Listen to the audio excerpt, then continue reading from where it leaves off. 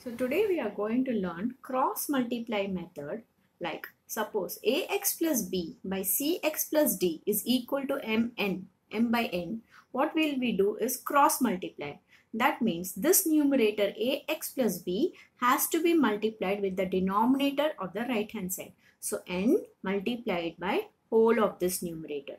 Here also m has to be multiplied with the whole of this denominator. So this is called cross multiply method. We are going to use this method to solve the equation. Now if you see here 2x plus 1 has to be multiplied with 10.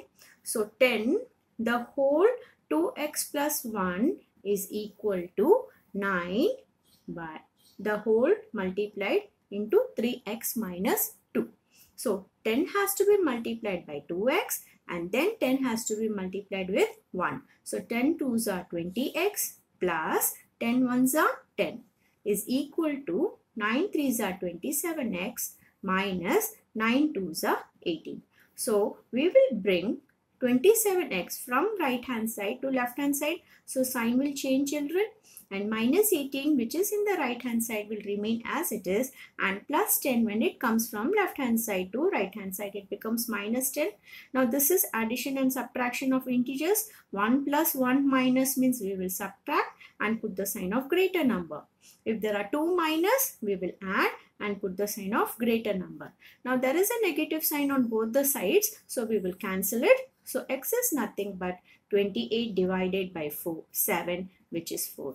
So x is equal to 4 is the solution for this equation.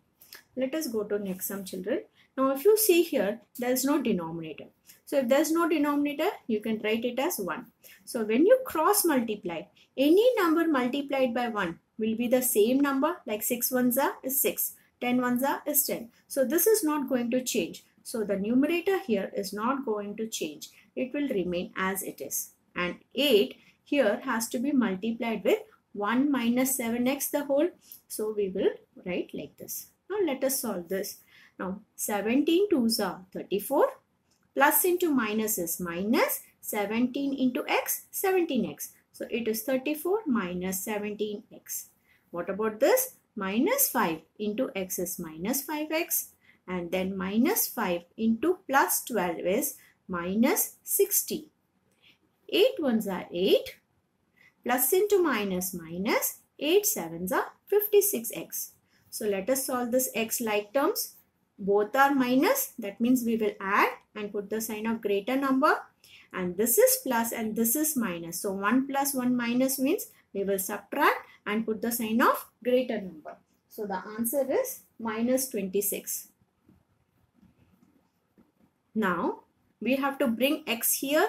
So minus 22x plus 56x is equal to 8 plus 26. They are changing the left hand side to right hand side. 1 plus 1 minus will give you subtraction and sign of greater number and 26 plus 8 is 34.